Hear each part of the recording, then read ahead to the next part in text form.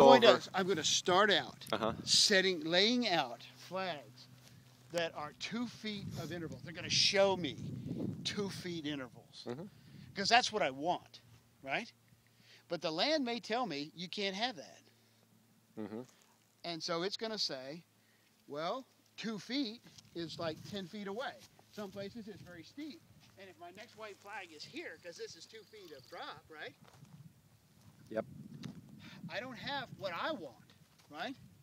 So now the main thing is I got to start taking care of this land. I can't let this erode. So maybe if I'm real steep, I need to go three feet contours. So I'll try to set those out and see if I can hold a 3% slope and get to 25. So All 25, time, you never go below 25? I want a 25 foot terrace here. It'll always be wider than here. So minimum 25 here.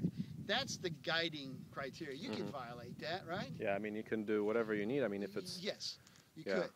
So you're going to be much steeper. You're going to be at 6% going down maybe a 500 foot deal, right?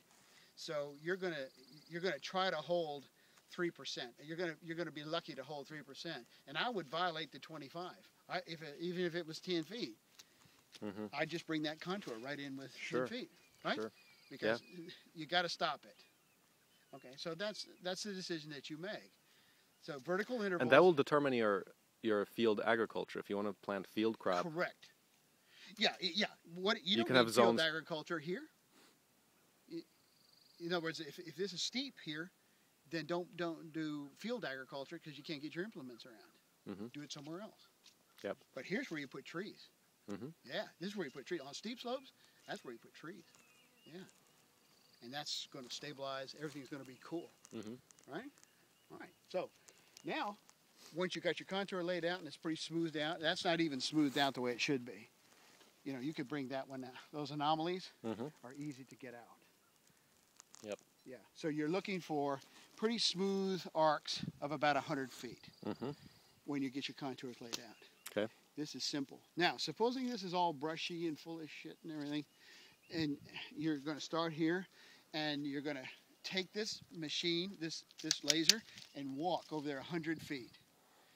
Find in the brush where you're level, put your flag, and then take your brush cutter or your mower or whatever you got and drive to it, and then set these little guys. Hmm.